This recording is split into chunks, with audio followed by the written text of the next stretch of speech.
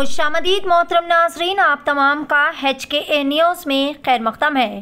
तलाश गुमशुदा Falaknuma police station हदूद के तहत वट्टेपल्ली फातिमा नगर से एक तीन साल मासूम बच्चा है लापता। वट्टेपल्ली फातिमा नगर के रहने वाले मोहम्मद महमूद नामी शख्स के तीन साल फर्जंद रेहान लापता हो गए। हर मुमकिन जगह सरपरस्तों ने मासूम बच्चे को तलाश कर लिया, लेकिन कहीं पर भी बच्चे का कुछ भी पता नहीं चलने के बाद घर वालों ने फलकनुमा पुलिस स्टेशन में रेहान की गुमशुदगी की शिकायत दर्ज करवा दी।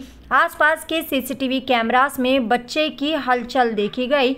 तमाम मुकामी लोगों से और तमाम आवाम से गुजारिश की जाती है। अगर किसी को भी कहीं पर भी रेहान नामी ये लड़का नज़र आ जाए तो फौरी तौर पर इस बात की इतला मुतल पुलिस को दे दे या फिर दिए गए इस नंबर पर तफसीत ज़ाहिर कर सकते हैं। फ़ोन नंबर है eight six, eight five, seven four, double seven, two four. आप तमाम की सहूलत के लिए नंबर दोबारा से दोहराऊँगी। Eight six, eight five seven four double seven two four पेश है एच के ए न्यूज़ की एक खसूसी रिपोर्ट।